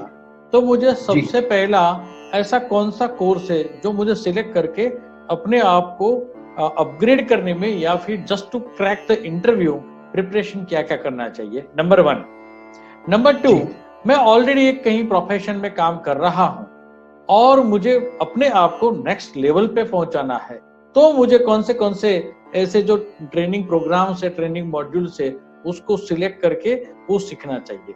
दोनों अलग है एक फ्रेशर है जिसकी बात चाहिए दूसरा है कुछ एक्सपीरियंस वाला है इसके बारे में। तो ओवर टू यू सर बिल्कुल। थैंक यू सी अभी की अगर हम बात करें कि मान लो अगर ये इंटरव्यू को देखते हुए अगर आप अभी साइट पे लॉग इन करते हो और आपको अच्छा लगता है तो हमने स्पेसिफिकली दो या तीन प्रोग्राम्स हैं जो कि हमने बहुत ही अभी फ्री रखे हैं बिना किसी मूल्य के हम लोग दे रहे हैं लोगों को। तो जो फ्रेशर की हम पहले बात करें उनके लिए हमारा एक प्रोग्राम है nine management skills to be learn from Chameleon तो हाँ जो गिरगिट होता है उससे हम हमारे ज़िंदगी के पहले नब्बे दिनों में हमको क्या करना चाहिए जब हम करियर की शुरुआत करते हैं? तो उसके ऊपर एक बहुत ही इंटरेस्टिंग प्रोग्राम है। वो उनको ज़रूर करना चाहिए। और दूसरा एक जो प्रोग्राम है जो उनको करना चाहिए जो कि पेड प्रोग्राम है ऑफ़ कोर्स वो है इफ़ेक्टिव ईमेल और स्ट्रेटेजिक ईमेल एटिकेट क्योंकि आप जब इन पर्सन किसी से मिलोगे, उससे पहले, चाहे वो आपके क्लाइंट हो, चाहे वो आपके प्रोस्पेक्ट्स हो, चाहे दूसरी यूनिवर्सिटी हो, या चाहे कंपनी हो राइट जहाँ आप अप्लाई कर रहे हो तो वो होगा ईमेल तो आज की डेट में कम्युनिकेशन सब लोग कर लेते हैं। पर व्हाट्सएप वाली इंग्लिश जो है, वो अब यहाँ प्रोफेशनल वर्ल्ड में नहीं चलती है। Yeah. तो इसलिए ये दो कोर्सेज मैं फ्रेशर्स को भरपूर पूर जोश से रेकमेंड करूँगा कि वो करें। बहुत सारे और भी कोर्सेज हैं पर ये दो तो बिल्कुल वो करें। तो एक मैंने फ्री कोर्स सजेस्ट किया दूसरा मैंने पेड कोर्स सजेस्ट किया। अब बात करते हैं हम लोग पेड कोर्सेज और और रादर अब बात करते हैं। जी अब हम बात करते हैं एक्सपीरियंस लोगों की। तो एक्सपीरियंस लोगों के लिए भी यहाँ पर तीन कोर्सेज हैं। एक कोर्स है जिसको हमने जो ओवरऑल जनरल अलग अलग डिपार्टमेंट्स में काम करते हैं, उनको फोकस करके बनाया है, जो प्रील्यूड ऑफ़ सक्सेस उसके बाद फैक्ट ऑफ़ सक्सेस करके हमारा बहुत जल्द एक सर्टिफिकेशन प्रोग्राम आ रहा है, जो कि 10 मॉड्यूल का प्रोग्राम है, पर अभी के लिए एक फ्री प्रोग्राम रखा है which is prelude of fact of success और वो प्रोग्राम पूर्णतः निशुल्क है, कोई भी अटेंड कर सकता है। तो वो उसके अंदर हमने सक्सेस होने के लिए क्या क्या चीज़ें चाहिए? कौन कौन सी ऐसी चीज़ें हैं जो एक व्यक्ति में होनी चाहिए? वो सारे हमने, उनके छह अलग अलग सेक्शंस में हमको, हमने वो समझाया। है तो प्रील्यूड ऑफ़ सक्सेस जो एक्सपीरियंस लोग हैं, वो बिल्कुल अटेंड करें। दूसरा है जो सेल्स में काम करते हैं। जो सेल्स और मार्केटिंग से जुड़े हुए लोग हैं, उनके लिए हमने you know your sales enhancer करके एक प्रोग्राम बनाया है। जो भी निशुल्क प्रोग्राम है, वो जो भी फ्री है, वो भी आप बिल्कुल से अटेंड कीजिए और आई एम श्योर कि उसमें हमने पार्टिसिपेंट गाइड भी दिया है तो सब लोगों को बहुत इससे फ़ायदा होगा इन जनरल सेल्स को बढ़ाने में और खुद की करियर को बढ़ाने में। और तीसरा जो तबका है उनके लिए एक थोड़ा सा पेड प्रोग्राम है, वो है प्रोजेक्ट मैनेजमेंट का प्रोग्राम अब प्रोजेक्ट मैनेजमेंट का प्रोग्राम यू अगर देखो तो बहुत ही स्पेसिफिक लोगों के लिए है पर that is one program which can be implemented for even man management as well तो इस तरीके से अलग अलग प्रोग्राम्स हैं। जब मैं ये कह रहा हूँ तब ये मैं कतई परेश ये नहीं कहना चाहता कि जिसने फैक्ट ऑफ़ सक्सेस का प्रील्यूड अटेंड किया है उसको कैमिलियन वाला प्रोग्राम अटेंड नहीं करना चाहिए। सब लोग सारे प्रोग्राम वैसे अटेंड कर सकते हैं पर जैसे कि स्पेसिफिकली अगर आपने पूछा तो फ्रेशर्स के लिए मैंने कुछ प्रोग्राम्स बताए।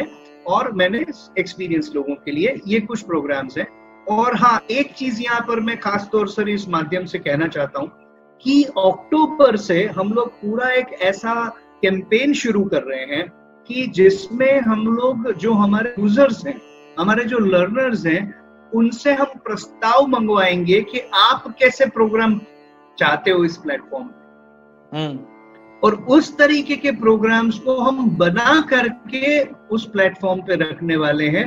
और उसका बेसिक शर्त यही है कि कम से कम हमारे पास एक ही पर्टिकुलर सब्जेक्ट या उससे जुड़े हुए सब्जेक्ट्स के 50 रिक्वायरमेंट आनी चाहिए। तभी हम बना करके उस प्रोग्राम को बट हमको लगेगा तकरीबन एक हफ़्ता, एक हफ़्ते में नया प्रोग्राम बना करके हम लोग उसको पेश करेंगे। तो इस तरीके से कंप्लीटली फ्लेक्सिबल प्लेटफॉर्म बनाया है। और ऐसे प्रोग्राम्स आप कर सकते हो जी અંકિતભાઈ તમારા આજુબાજુની અંદર જે તમે અત્યારે ઓલા ઉપર કામ કરો છો ને बहुत खूब बहुत खूब बहुत खूब अंकित भाई आप बहुत सी ऑर्गेनाइजेशन में इंटरव्यू पैनल में भी बैठते हो बहुत से ऐसे नवयुवान आपके पास इंटरव्यू देने आते हैं तो उसमें जो गैप होता है वो गैप के बारे में थोड़ी सी बात करना है, क्योंकि मैं समझता हूँ कि हमारे गुजरात और संपूर्ण भारतवर्ष में जो expectation from the job givers and availability of the skilled from the job seekers इसमें कुछ इम्बेलेंस है, उसमें कुछ गैप है। वो एक्सपेक्टेशन का कुछ जो गैप है, वो गैप क्या है और उसको बहुत शॉर्ट स्पान ऑफ़ टाइम बहुत टूके समय के अंतराल में यदि उसको ब्रिजअप करना है तो उसका सॉल्यूशन क्या हो सकता है? सबसे पहले गैप एंड देन सॉल्यूशन बिल्कुल बिल्कुल। सो so, मैं गैप है परेश में वो दोनों तरीके से बताऊँगा दोनों साइड से बताऊँगा। पहली साइड जो है वो है ऑर्गेनाइजेशन की साइड और उनकी साइड में इसलिए दे रहा हूँ ले रहा हूँ सबसे पहले क्योंकि हम सबको जो भी हमारे स्टूडेंट दर्शक हैं उनको ये समझना चाहिए कि वहीं से हमारी ज़िंदगी के जो सुख हैं जो समृद्धि है जो संपन्नता है वो आने वाली है। इसलिए हम उनको आदर देना चाहिए। तो पहले मैं उनकी साइड लेना चाह रहा हूँ और उनकी साइड में इसलिए इस तरीके से लूँगा कि उनके गैप क्या है कि वो जब भी देखते हैं तो वो कैंडिडेट में देखना चाहते हैं कि कौन ऐसा है जो मेरे हाथ में अभी जो प्रॉब्लम है उसे सॉल्व कर सके। यस सबसे पहले वो ये देखना चाहता है। दूसरा वो ये देखना चाहता है कि कौन ऐसा है जो हमारे कंपनी में लंबे समय तक टिका रहे।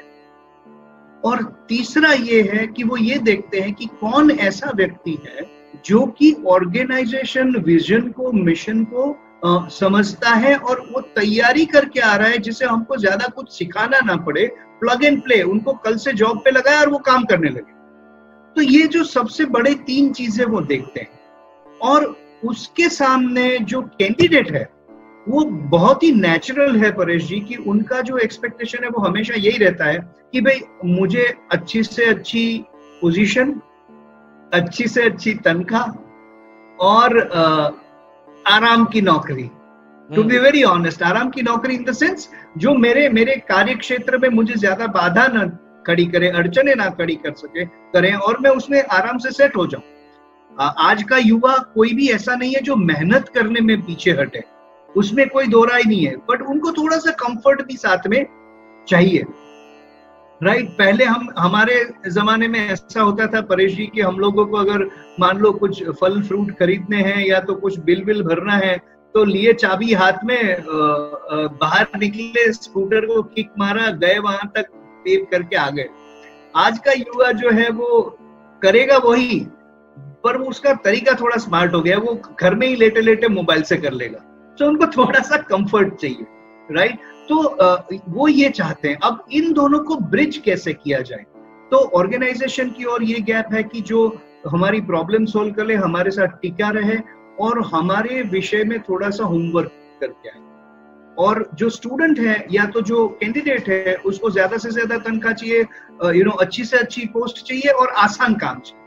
अब इनको गैप कर ब्रिज करने के लिए सिर्फ़ सिंपल सी चीज़ ये है कि मैं खास तौर से ये जो हमारे जो युवा कंटेस्टेंट्स हैं, जो कि नौकरी के लिए, अभी नौकरी पाने के सिचुएशन में पहुँचे हैं, उन सबको मैं यही सलाह दूँगा कि सबसे पहले आप आप दो तीन चीज़ों पे ध्यान देना शुरू कीजिए, बाकी सारी चीज़ें बाद में कीजिए। पहला तो ये कि जिस भी कंपनी में आपका इंटरव्यू है, उस कंपनी के विषय में जानकारी हासिल करने के लिए कम से कम दो दिन इन्वेस्ट कीजिए। उन दो दिनों में आप क्या करोगे? आप उनका वेबसाइट बहुत ही डीपली स्टडी करोगे। दूसरा अगर पॉसिबल है तो आप ये स्टडी करोगे कि आप जिन डिपार्टमेंट में जाने वाले हो उस डिपार्टमेंट की हेड कौन है? और लिंक्डइन से प्रोफ़ाइल देखो या तो कहीं से भी देख करके उनके बारे में देखो। और तीसरा कि जो ऑर्गेनाइजेशन है, उस ऑर्गेनाइजेशन का ओवरऑल मार्केट स्टैंडिंग क्या है और फ्यूचर में वो क्या कर सकते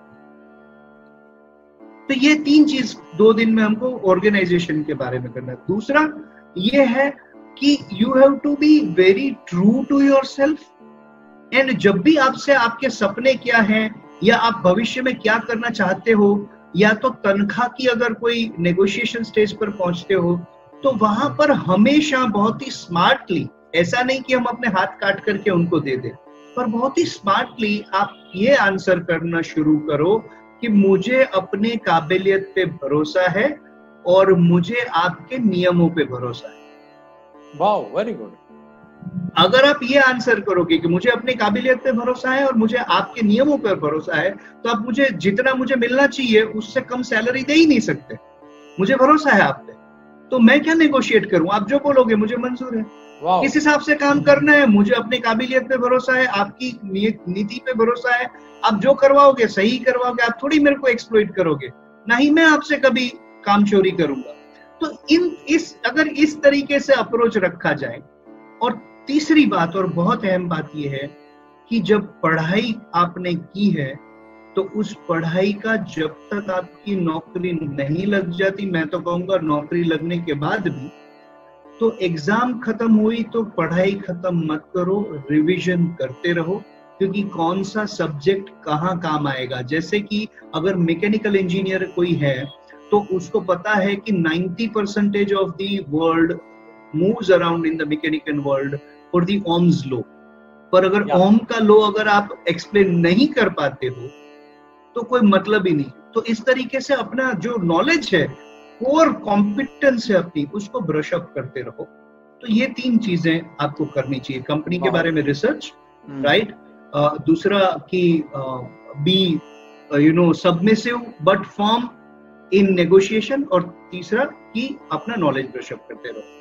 क्योंकि और भी एक प्रश्न पूछने से मैं अपने आप को रोक नहीं पा रहा हूँ क्योंकि बहुत से ऐसे ट्रेनर है जो ट्रेनर क्राउड के सामने तो बहुत अच्छा कुछ दे पाते थे लेकिन अब उसको कैमरा के सामने बोलना है।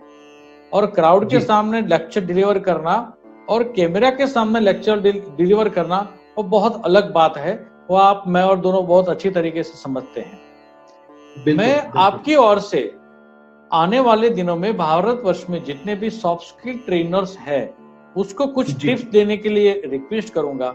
कि सर आप इसको कुछ इस प्रकार की टिप्स दे ताकि वो ऑनलाइन एजुकेशन में भी समाज को कुछ अच्छा दे पाए। Over to you sir ji. Paresh ji मैं मैं बहुत ही स्पेसिफिक वे में आ, तीन या चार पॉइंट्स ही कहूँगा संक्षेप में क्योंकि आप भी जानते हो और यू नो दर्शक मित्रों से भी मैं कहना चाहता हूँ कि how to become a online trainer उसके ऊपर पूरा एक बहुत ही डिटेल प्रोग्राम हमारा बहुत जल्द आ रहा है।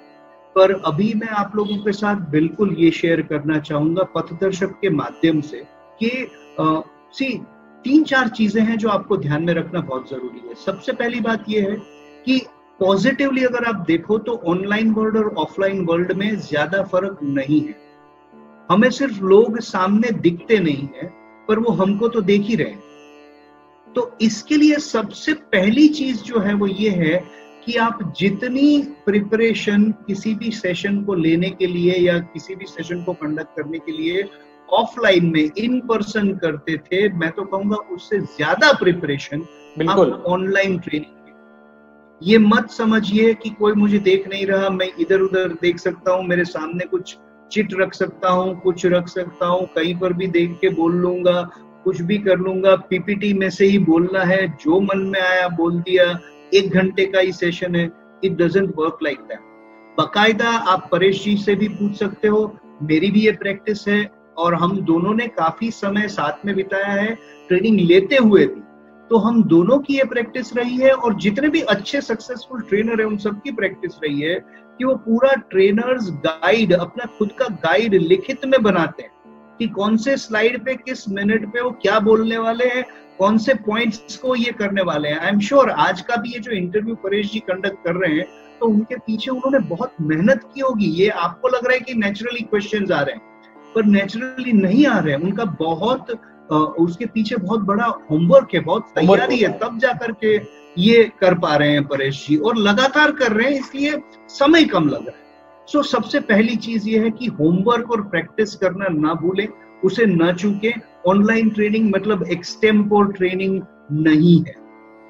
ऑनलाइन ट्रेनिंग भी करना है तो आपको विषय की जानकारी रिब्रशिंग करना बहुत ज़रूरी है number one number two online के rules and regulation do's and don'ts क्या है वो हमें समझना बहुत ज़रूरी है। जैसे कि अभी आप अगर अनुभव कर पा रहे हो तो आपको लगेगा कि मैं आपकी आँखों में आँखें डाल करके बात कर रहा ये असल में मैं स्क्रीन पर ना देखते हुए कैमरा में देख रहा हूँ इसलिए आपको लग रहा है मैं आपकी आँखों में आँखें डाल करके बात कर रहा हूँ।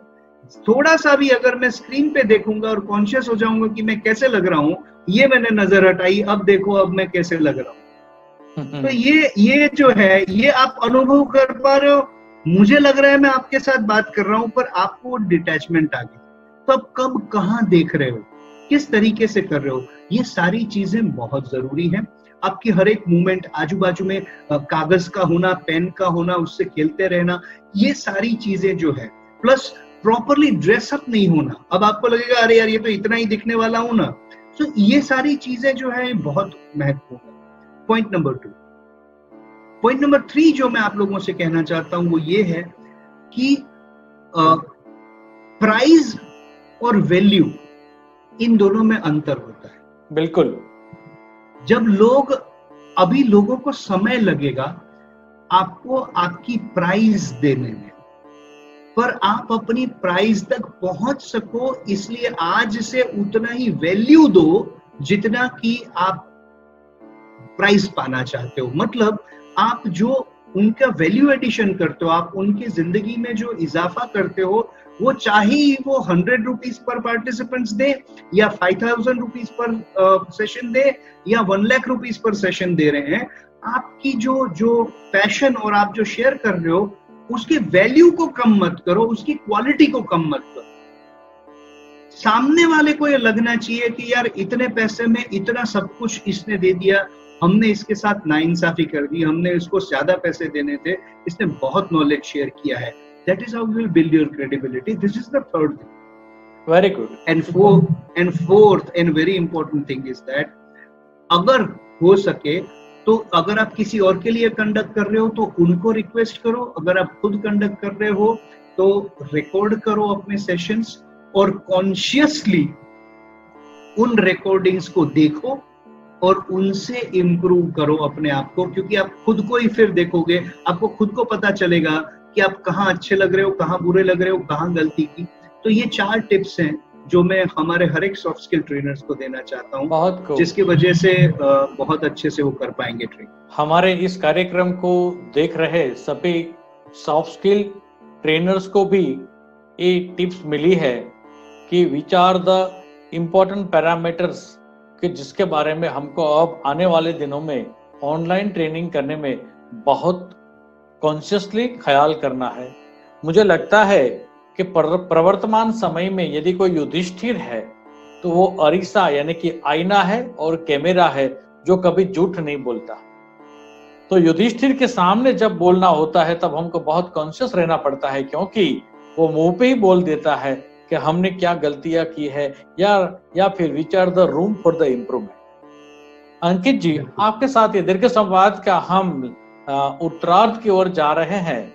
तो कुछ बातें ऐसी मैं आपसे पूछना चाहूँगा जिसका जवाब एक शब्द में होगा या फिर एक सेंटेंस में होगा। दोस्तों कोई कोई बातें हमने आज अंकित जी से ऐसी भी बुलवाई है मैं शब्द बोलूँगा बुलवाई है जो कहीं पर लिखी नहीं गई है कहीं पे सुनी नहीं गई है सिर्फ़ उसको जिया गया है।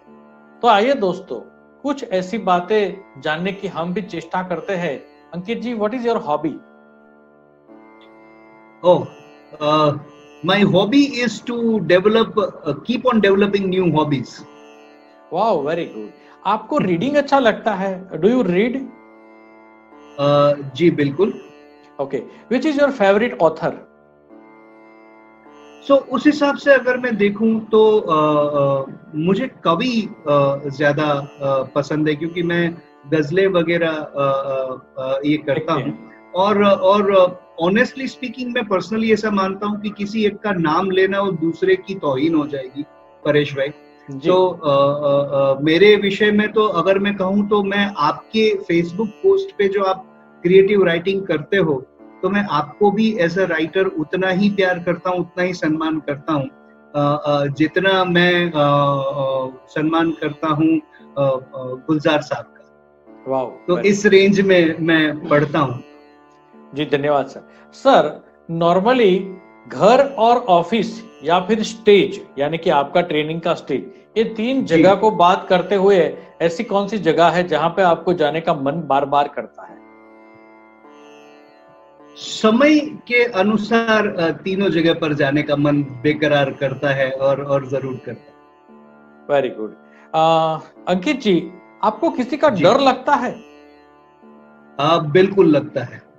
मुझे मुझे आ, आ, एक तो खुद का डर बहुत लगता है और आ, क्योंकि अगर अगर मैंने अपने आप से कभी चालाकी कर दी अगर मैंने अपने आप से कभी कुछ यू नो बेईमानी कर दी तो उससे बड़ा अपराध कुछ नहीं होगा। तो मुझे खुद का डर ही लगता है। I always want to make my tomorrow better than today okay तो बट आई थिंक शॉर्ट में आंसर देना है तो बिल्कुल इतने बिल्कुल. तक रखते हैं अभी। हाँ सर कभी आपने चोरी की है? आ, बिल्कुल की है। मैंने मैंने चोरी की है आ, पर आ, मैं कहूँगा मैंने चोरी की है आ, क्या बोलते हैं वो जेम्स बॉन्ड या तो सुपरमैन या उस तरीके के जो कैरेक्टर्स हैं उनकी तरीके से कि भी इनसे छीना और उनको दिया। उस टाइप से मैंने चोरी यानी कि किसी को देने के लिए आपने किसी को चोर के भी दे दिया है चोरी करके भी दे दिया हाँ चोरी चोरी करके भी दे दिया है। जी। अंकित जी हमारा ये दीर्घ संवाद का अंतिम क्वेश्चन यदि जी। ईश्वर आके आपको बताए पूछे कि आपको किसका समकालीन होना पसंद करेंगे तो आप किसका समकालीन होना पसंद करेंगे? आ, मैं समझता हूँ परेश जी के अभी का जो समय है जो जो मुझे जिस समय में उसने पैदा किया है तो उसी उसी समय को मैं फिर से चूज़ करना चाहूँगा। क्योंकि अगर आप देखोगे तो जन्म से लेकर मतलब 1975 से लेकर के हो सकता है शायद मैं कम से कम 2035 तक तो जीऊँगा 2035-2040 तक तो जीऊँगा। तो इस दौरान भारत वर्ष का, भारत माता का जो ट्रांसफॉर्मेशन हुआ है वो आप देखोगे न भूतो न भविष्यति होने वाला है और हुआ भी है। तो इससे ज़्यादा बेहतर समय आ, मेरे जैसे व्यक्ति के लिए और कोई नहीं हो सकता। तो अगर ईश्वर मुझे पूछेगा कि कब जन्म लेना है तो मैं फिर बोलूँगा ट्वेंटी अक्टूबर 1975 और ऊपर जाने की तिथि तो उसी को पता बहुत खूब। दोस्तों अंकित जी ने एक बात बताई कि मैं इसी धरती पे इसी समय पे बार बार जन्म लेना चाहूँगा। और जहाँ पे अंकित जी की एक कर्म भूमि रही है, उसकी बाल्य अवस्था जहाँ पे पसार हुई है, वो हमारे गुजरात के जूनागढ़ का एक कवि है और वो भी अंकित जी के कास्ट का ही है, उसका नाम है नरसिंह मेहता। और नरसिंह मेहता यानी कि वैष्णव वज़न तो तेरे कहिए, जो हमारे राष्ट्रपिता गांधी बापू का भी बहुत एक पसंदीदा भजन था, और हम सब लोग जानते हैं वो नरसिंह मेहता ने गुजराती में एक बार लिखा है कि हरिना जन तो मुक्ति न मांगे मांगे जन्म जन्म अवतार। जन्म अवतार। तो दोस्तों यही हमारी भूमि है यही हमारी मातृभूमि है और इसके लिए हम कुछ करने के लिए हम आके कटिबद्ध होते हैं और हमारे भारत माता को और भी मज़बूत पूरी दुनिया में इसका नाम बहुत बादब बा मुलायजा लिया जाए ऐसा हम युवान मिलके काम करते हैं। आइए दोस्तों एक नई भारत की शुरुआत करते हैं। अंकित जी आपने अपने व्यस्त समय से कुछ समय हमारे लिए निकाला। हमारे युवा गुजरात और युवा भारत के युवाओं को आपने मार्गदर्शित किया। इसीलिए हम आपके ऋणी रहेंगे। आपका बहुत बहुत धन्यवाद। शुक्रिया। धन्यवाद। बहुत बहुत शुक्रिया। धन्यवाद। Thank you